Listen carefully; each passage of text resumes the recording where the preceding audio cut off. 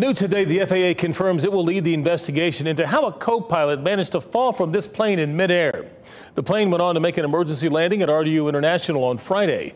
WRAL's Joe Fisher is live at the airport after spending the day digging for more information. Joe, what'd you find out? Gerald, this is very much still a mid-air mystery. The investigation still only just beginning as we zoom into this plane, which is still here at RDU. The one person who likely has the most information is the surviving co-pilot. But three days later, and we're learning both the FAA and NTSB have still not interviewed that person about what happened.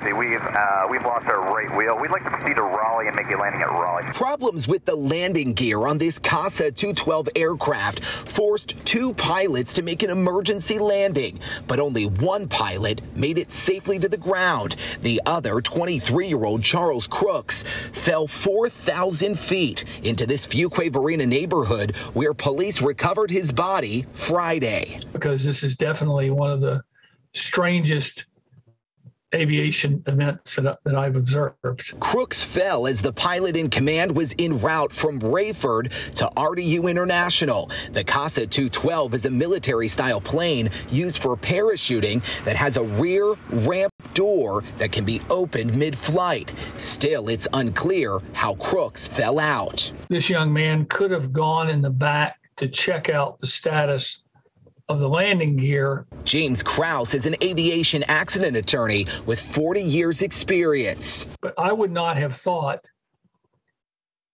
that it would be unusual if one person just said, let me go back and take a look. Or if the captain or pilot in command said, let me continue on the controls. Why don't you go back and see what we've got back there? Authorities have yet to interview the surviving co pilot. Kraus says any cockpit voice recorder could have answers about the pilot's movements mid flight.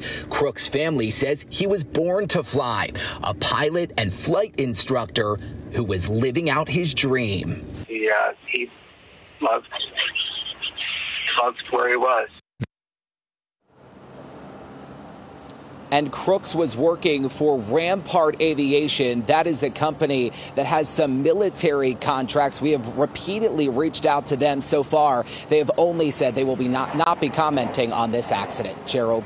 Boy, such a bizarre story. Joe Fisher with a story we're going to continue to follow up on. Thank you.